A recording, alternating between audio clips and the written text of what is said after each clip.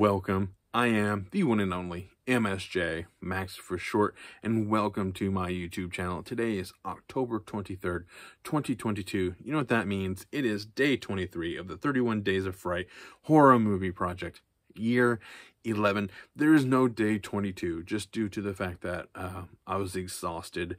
By the time I got home, I went straight to bed. I didn't even, I got up in time to film a review, but I just couldn't find the motivation to do it. All in all honesty i was just very tired. And today i have a little bit more energy. Even though i'm running a little behind on how i would normally do my reviews but i'm here. I'm trying to make this final week leading up to halloween a perfect week. So so yeah. Please click subscribe hit the bell leave a like leave a comment and share because today's movie is a really good one. It is X. I don't actually have a physical copy, so I have the Cheesiness. Um, I don't own a physical copy yet because I'm holding out to see if there we do a kind of a cool um, two double feature box set for Pearl, which is the prequel to this movie, because I really love this movie and I'm excited to see kind of where the prequel comes from, where it goes, and like what makes her um do the things that she's done, you know, or why she is the way she is. And because uh, Mia Goth, uh, she plays dual roles in this movie. She plays um, our lead actress in the movie and as well as the um, kind of the aging woman who has always strived to be a movie star but never made it and so um, that's where this movie comes into play, where a bunch of people have come together, um, like a strip club owner, um,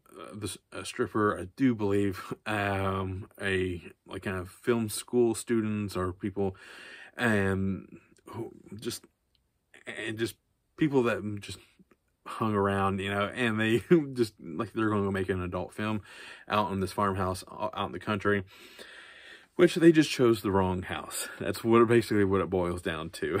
And, but it's so much more than that. It's more than just kind of a raunchy movie.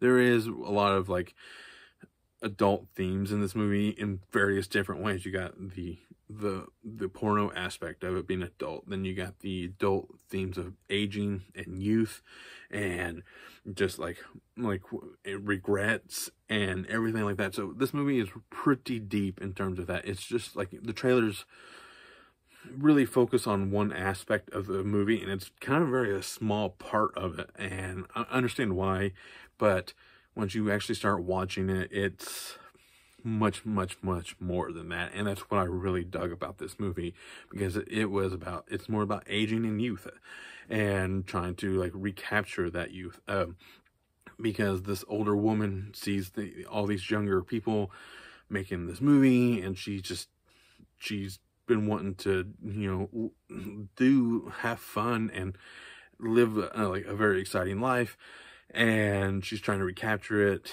And her husband he has a very serious heart condition so if any you know extracurricular activities could be the final thing that kills him you know and it spoiler uh, it eventually does but it's like in a moment where like oh my god you know it's it's wow. Um, but what this movie does really well is like the movie starts off like a cold open. You see the aftermath of everything. You see, but like the cops have already been there. Um, sheets have been covered of over over the bodies. So you don't know who has died who has survived. What it had really went down until it kind of flashbacks into um, the beginning of the to where the events kind of start to unfold. And i like everybody in this movie. They're just a lot of fun Mia Goth is fantastic in this movie. Um, I think Jenna Ortega is in this movie. She plays kind of like the naive good girl, you know. And but once she kind of starts to like, she's running boom mic, you know, the people who hold the big um, microphones. She witnesses one of the scenes, and they they film, and the far, the movie's called Farmer's Daughter because it um it's playing off racism there.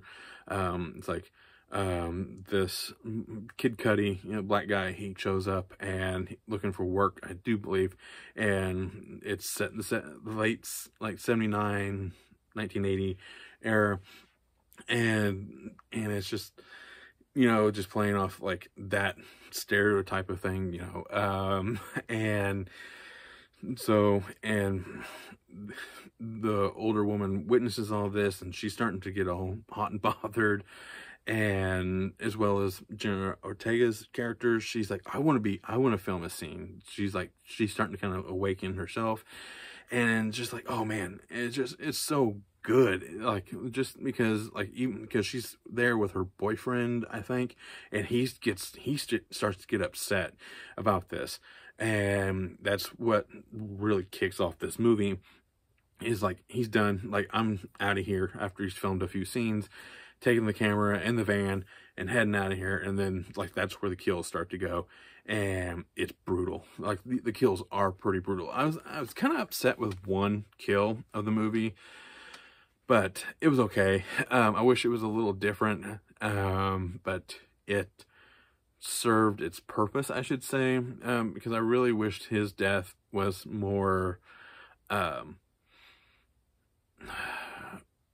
different. I don't know why I wish it was a little bit different. Like, um, there's some deaths that just come out of nowhere. One is just fantastic. It involves an alligator or a crocodile. Uh, and from the trailers for Pearl, that comes back. That particular crocodile comes. Um, I'm not sure if it's that one, but I know they live a long time, so it could be that particular one that shows back up. So it's just, I'm just I love this movie, and it's more than what the trailers make it out to be. So I really wish people would like just disregard the trailers on this one. I really hate to say that for movies because the trailers really do make or break a movie sometimes. But this one really it's like you just need to kind of like just go in blindly and just watch it and like a little bit of synopsis does not hurt. But it just I love it. Like I really do love it, and uh, that's why I'm looking forward to Pearl because in it kind of goes into the backstory of Pearl, which is the older lady of the movie, and why she's just like why she's like really upset about the fact that she's getting old and she's taking it out on this young group of people, you know, and and they are brutal and like like it's so good. It really is more than what the train. That's what I'm trying. That's what I'm really what I'm like I sit down to watch this and for the first time and then when I've been thinking about it for this month it's just like the trailers are just focused heavy on one little aspect of the movie and it's fun. It's like I mentioned don't watch the trailers maybe one and just to kind of give you like an idea of what to expect and then, that's it. Don't don't watch any more. Don't read anything about it. Just going blindly. And that because that's probably the most fun way to do some of these kind of these A24 films. So oh man, yeah. Um that's really all I have to say. Um just like the the beginning of the movie is really cool not knowing who died, who survived and just seeing the aftermath of the carnage that's taken place over this couple days. Um and then you get to see some spectacular dual acting from Mia Goth as an older woman and as her younger self. Um, as like, yeah. Um, and then what else? Uh, just Kid Cudi's really good in this movie. Um, it does have nudity. It has a lot of um, gore. Uh, um, just Brittany Snow, she kind of steals the movie a little bit um, especially with her death scene and just her acting and she and she sings in the movie so shocker um, but just a good movie it really is i highly recommend this one uh, it's just a fun movie i'll probably end up watching it um, again before the month is over just because i would like to hopefully if pearl comes out i'll watch pearl and then do that one just to kind of see if there's any cool strong connections because I really like the fact that they filmed that movie in secret. I I just I love that. I love that aspect of it. So I'm looking forward to seeing that. But until that comes out, watch X. And so Now on to my rating scale. One, run-of-the-mill horror. Two, best watch with the group. Three, more than average, but adds nothing new to the horror genre. Four, helps move the horror genre forward. And five, being a horror classic. I'm not quite sure where to rank this one. As much as I like this movie, it's not quite a horror classic yet. Has the potential to be a horror classic. It's definitely more than average, but it doesn't really break new ground in some aspects uh, to help um, move the horror genre forward. Sorry, don't necessarily have to watch it with a group. It's definitely not run of the mill, that's for sure.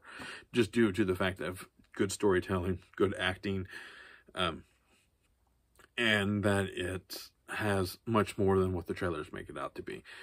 And I think it's probably a 3.5. It's definitely your way more the average. It's not quite a horror classic. Doesn't move the horror genre forward. But it's right in the middle. It true it's a little bit more it's more towards five, four, five with time. You know, like time will tell on this one. Depends on how Pearl goes. Okay, I think that really truly mm, will make this rating. I may have to come back on this one, and if this movie comes out later in the month um, for Pearl, I may have to come back and re-rate this one. Uh, just because I want to, if you have Pearl and this one to watch it like a really cool couple hour, like three hour movie, that this may be, a, it may be potentially be a five later on. So just don't just rambling there. Okay, that is all. Uh, um, I think it's a 3.5. It's definitely it's way more than average due to the acting, the kills, the themes, the editing, the look of the movie. It's definitely way more than average because Ti West is a fantastic director. So, yeah, it's has some like serious um, thought put into it, and so yeah that is all. I am the one and only MSJ, Max for short, and all I can really say is stay spooky and thank you.